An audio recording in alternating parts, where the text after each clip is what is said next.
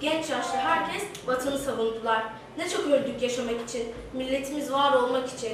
Sonunda millet kazandı, bir avuç haine vatanı bırakmadı.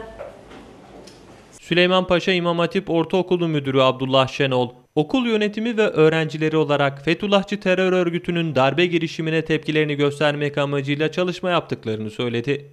15 Temmuz gecesi milletimize haince bir darbe girişimi yapıldı.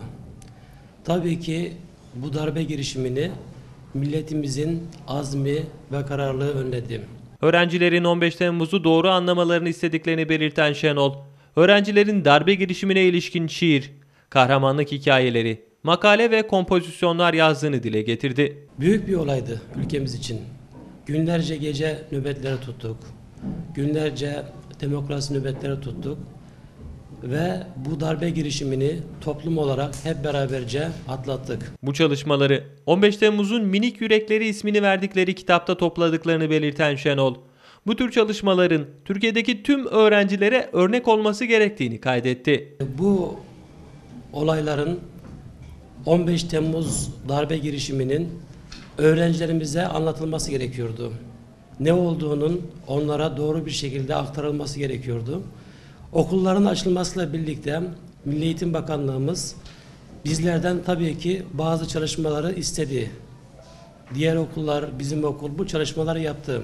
Okulda Türkçe öğretmeni olarak görev yapan Hülya Çankaya da 15 Temmuz darbe girişimi kapsamında çalışma yapan öğrencilerin çok güzel eserler hazırladığını kaydetti.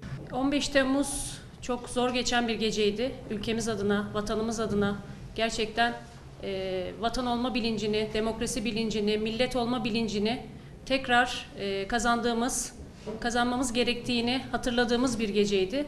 Bunun e, yansımalarının öğrencilerimiz üzerinde ne gibi etkileri olduğunu, neler hissettiklerini, duygularını, düşüncelerini, e, Milli Eğitim Bakanlığımızın yapmış, yapmış olduğu, başlatmış olduğu e, hafta kapsamında biz de çocuklarımıza sorduk.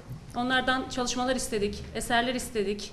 E, duygularını, düşüncelerini rahatça kaleme dökmelerini istedik. Ve e, bunun sonucunda güzel bir proje çıktı. E, okulumuzda bunu e, kitaplaştırdık. Sizlerden duygularınızı, düşüncelerinizi kağıtlara aktarmanızı istiyoruz. İstediğiniz